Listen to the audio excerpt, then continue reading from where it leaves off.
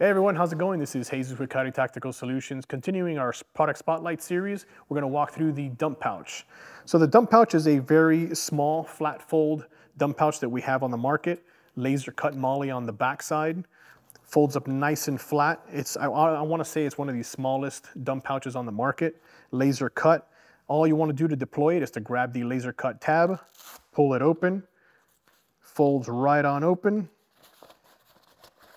has a grommet hole on the bottom to drain any debris or any water.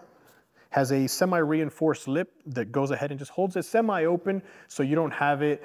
If you have too stiff of a lip, you won't be able to fold this back up as small as we did. So this kind of bridges that gap between too stiff and not stiff enough where it's just flapping closed. So it can hold a good amount of magazines. These are AR-15 magazines and we just stuffed in here five of them and we still have a good amount of space left over.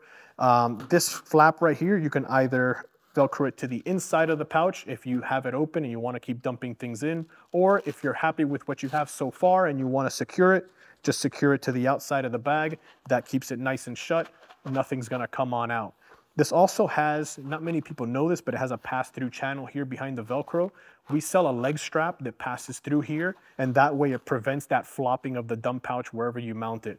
This is a great addition to any belt. As you can see here, it's nice and compact out of the way. If you're space limited, or especially if you're a female law enforcement officer where there's not much space on your belt, this is the perfect kit for you. Guys, if you have any other questions, reach out to me, let me know.